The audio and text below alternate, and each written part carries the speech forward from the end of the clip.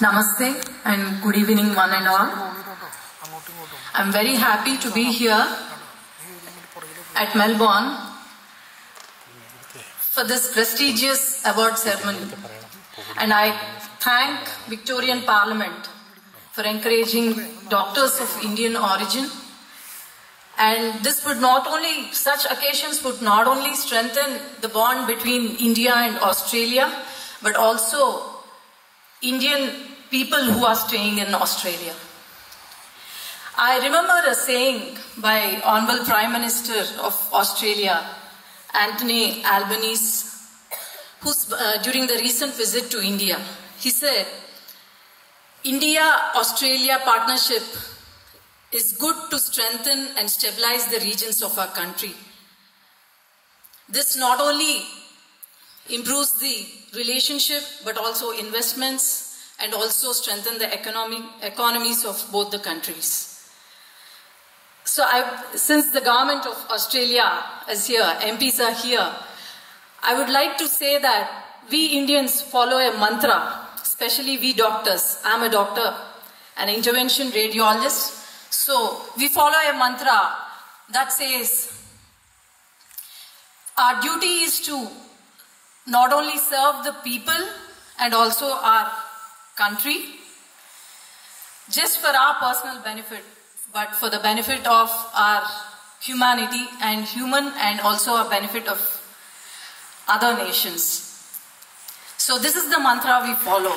And this is the reason why we Indians are respected and accepted globally.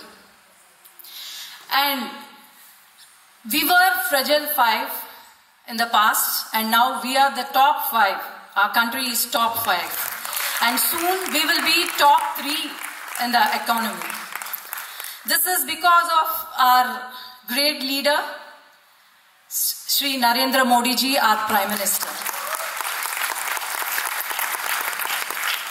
We have electrified every Indian household today. Then we have the greatest healthcare system and about 40 crore Indians have bought under the healthcare system. And then we are the country and I forgot to tell you one more thing. She has addressed me as Mr. Byreddy Shabari. And she also mentioned that, oh, husband is an MP. I'm proud of that. But this is the new India where women are here. Women are addressing. And this is the new India which is being built by our great leader Narendra Modi ji. Empowering women, empowering youth. This is what we are. So, and I come from a state, Andhra Pradesh, and our CM, Chandrababu Naidu Garu, has swept polls. I'm sure everyone in this world know about him. And he's the man of vision. He's the man who has got reforms, investment reforms in the country. And under his leadership, I'm sure Australia and Andhra Pradesh, not only India but Andhra Pradesh, our state relation also would be moving forward very strongly and I'm really hoping for that. And not only Bionic ear, cervical vaccination, but also we have, Australia has done a lot of advances in heart transplantation and also it has stood, its universities and research centers have stood top 50 in the world.